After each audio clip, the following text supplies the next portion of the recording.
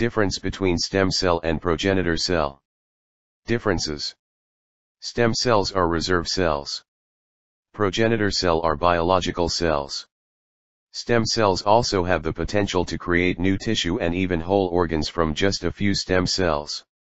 Progenitor cells are already more specific can only be pushed to differentiate into its target cell.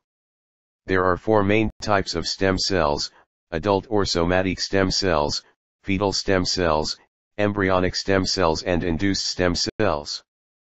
Progenitor cells are of many types like, satellite cells found in muscles, intermediate progenitor cells formed in the subventricular zone, bone marrow stromal cells, periosteum contains progenitor cells that develop into osteoblasts and chondroblasts. Pancreatic progenitor cells, angioblasts or endothelial progenitor cells, EPC, and blast cells. Stem cells multiply by cell division to replenish dying cells and regenerate damaged tissues. Progenitor cells can divide only a limited number of times. Stem cells generate all the cell types of the organ from which they originate and potentially regenerating the entire organ from a few cells. Tend to differentiate into a specific type of cell.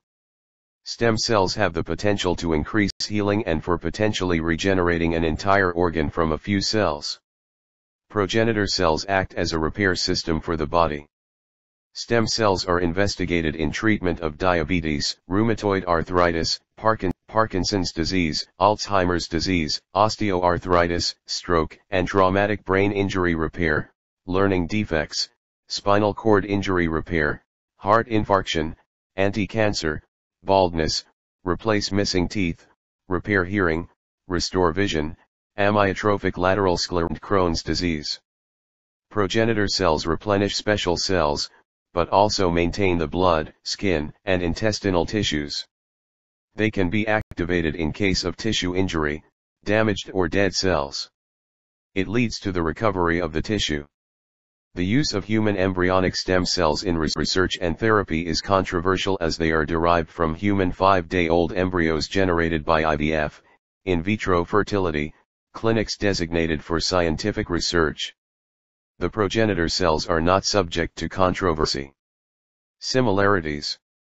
Both are potential to differentiate into a specific type of cell.